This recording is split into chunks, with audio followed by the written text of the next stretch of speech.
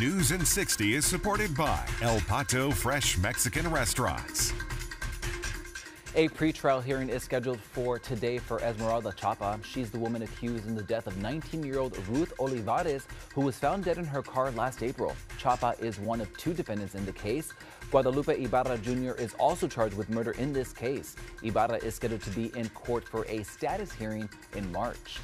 And happening today, a special city council meeting in Penitas. According to the agenda, city council members are going to talk about the replacement of Alex Guajardo. Now, he's still listed as the place one member, but just last month, he pleaded guilty in a federal bribery investigation.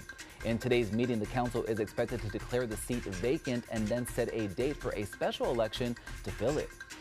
And don't forget, tomorrow is election day for the March primaries. If you're looking for polling locations near you, candidate information, and much more, we have all of that information up on our website. That's krgv.com. And of course, Channel 5 News will be your election headquarters all day tomorrow. And for weather today, the gloomy weather is gone. We're starting off cool across the valley, but we'll be warming up to the upper 60s today.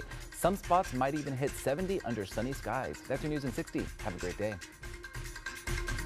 News in 60 is supported by El Pato Fresh Mexican Restaurants.